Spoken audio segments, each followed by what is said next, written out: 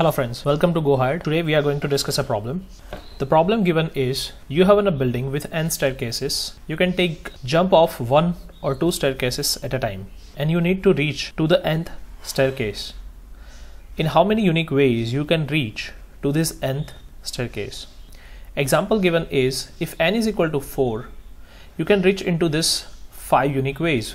1 1 1 1 that means you climb one step each time or 211 that means you take first jump of two staircases and then take one jump and another jump. So in this way there are five unique ways.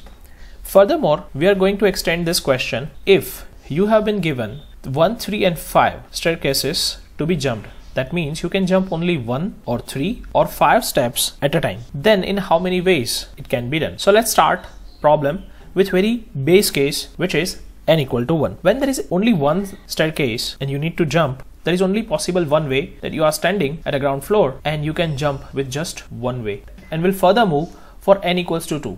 Now when you are at n equals to 2 that means you want to jump from the ground floor to 2 one way is easily that you can climb to 1 and another is again you jump to the second one so one way is that you take first staircase and then another because there is only one or two jumps are allowed at a time Another one is you can reach to 2 directly with another jump. So you can see that when you are at 0, you can either go to 1 and then reach to 2 or you can directly reach to 2.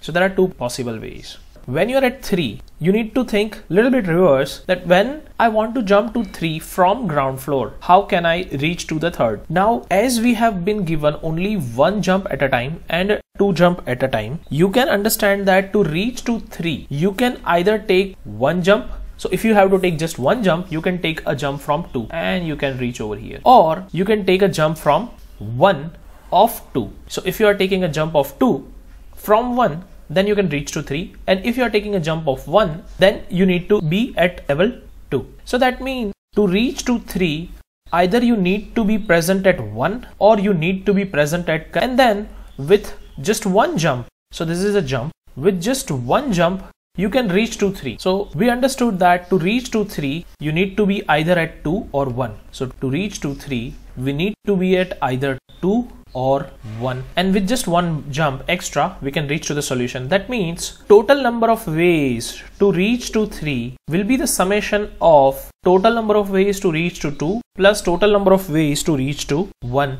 next n equals to 4 as you can take only two jumps 1 or 2 you can take either from 3 or from 2. To reach to 3, again there can be a sub problem which we discussed over here.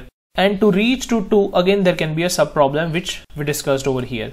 So we understand that to reach to 4, you need to be present at 3 or you need to be present at 2. And that's why total number of ways to reach to 4 will be the total number of ways to reach to 3 plus total number of ways to reach to 2. In general, if we write this equation, it can be written as number of ways to reach at n is equal to number of ways to reach at n minus 1 plus number of ways to reach at n minus 2.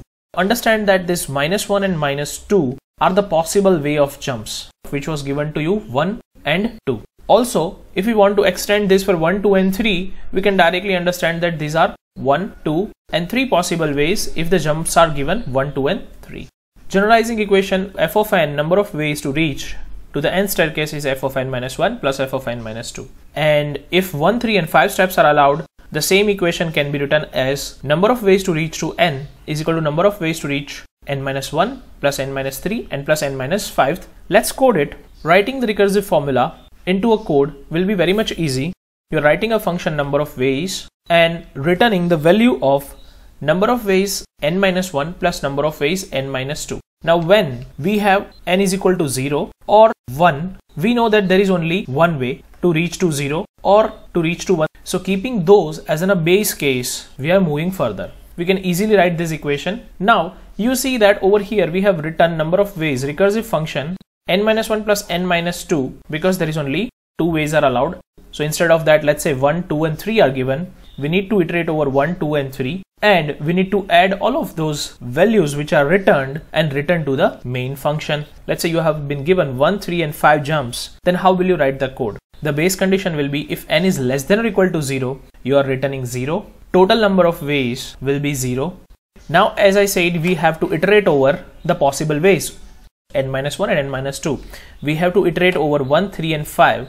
So we can write it down as for i is equal to 0 to i less than s length, i plus plus and iterating it over number of ways n minus i. So we can reach to n minus 1, n minus 3 and n minus 5. Now instead of that if it would be 1 and 2 you would have the same equation of returning total with number of ways n minus 1 plus number of ways n minus 2. So the same function has been created.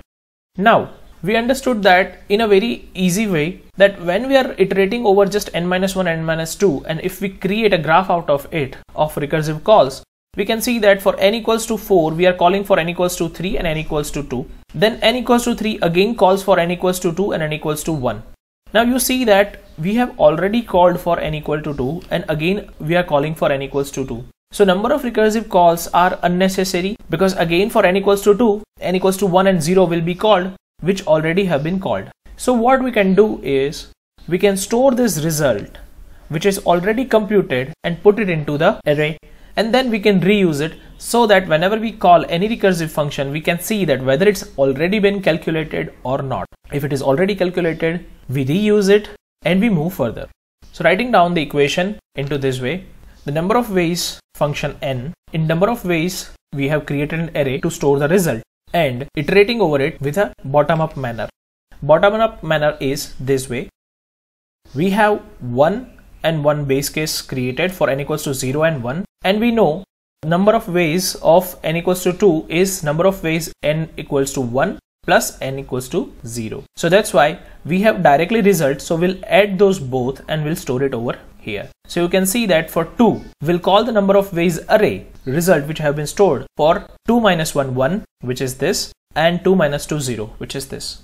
Those addition will be stored for n equals to 2 which holds true we know that 1 1 and directly jump 2 is the result for n equals to 2. Now in the same way for n equals to 3 we know that we need to call for 2 and 1 as we can see that into this one the same one we will reuse it because the 1 and 2 have already been computed. We will reuse it. So you can see that for i equals to 3 again it will go for 3 minus 1 2 plus number of ways 3 minus 2 1 so number of ways of 2 plus number of ways of 1 will be added and will be stored it into number of arrays 3 and so on.